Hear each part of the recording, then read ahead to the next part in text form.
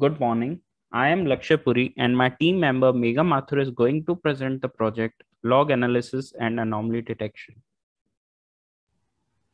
Logs are widely utilized to detect anomalies in modern large-scale distributed systems. However, traditional anomaly detection that relies heavily on manual log inspection becomes impossible due to the sharp increase of log size. To reduce the manual effort, automated log analysis and anomaly detection method have been widely studied in recent years.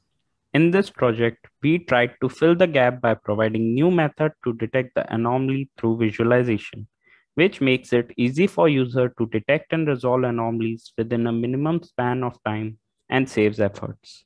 So we used ShiViz, which is a virtualization engine that generates interactive communication graphs from distributed system execution logs.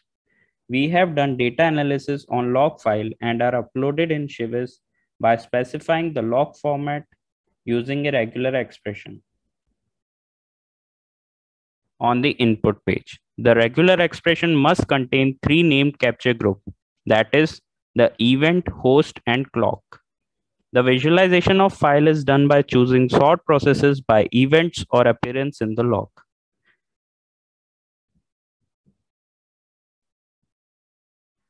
Here you can see the log file is in a visual format and the node, event, and time information and then host information is present here, which makes it easy for the client to detect anomalies and resolve them.